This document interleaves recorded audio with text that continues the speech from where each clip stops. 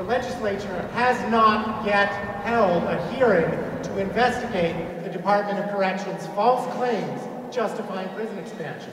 We are holding our own hearing on prison expansion. Over $2 billion in prison expansion in one year. Where are you at, Governor Corbett? We have a state government that is pushing forward with prison construction, building two new prisons for $400 million. Investment should be made in the liberation of people, not in their confinement. I'm a taxpayer. We need to stop funneling the taxpayers' money into prisons and reinvest it back into our children and reinvest it back into our schools and reinvest it back into our communities, our children. Students are fed up with Governor Corbett. We are tired of everyone expecting us to do so much with so little. I'm here as a mother whose son has been locked up because of police corruption sanctioned by prosecutorial zeal. Numbers can't capture the pain our communities are feeling now. Today we come to fight back, and we will not let you keep doing this to our communities. We have a message for our legislators.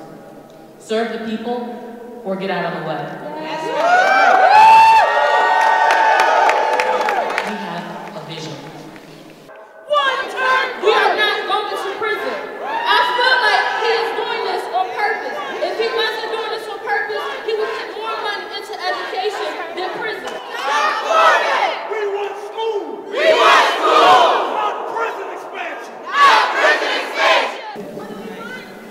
Every brick you put in the wall of a prison takes a book from the hands of a child. Every prefabricated concrete cell you add on takes away someone's future. We know how to make our community safer. I said, would y'all rather have a prison or a school? We need jobs so Pennsylvanians can support themselves and their families. We need safe, affordable housing and healthy, affordable food.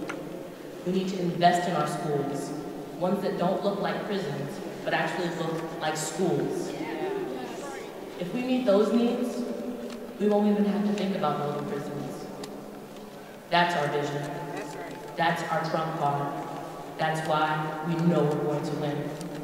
So if not now, then when? And if not us, then who? Somebody said earlier, this is a movement. We ain't stopping. I'm a member of Decarcerate PA, and I'm going wherever they go. To the General Assembly of Pennsylvania, this movement is not going anywhere. Decarcerate PA! Decarcerate PA! Decarcerate PA!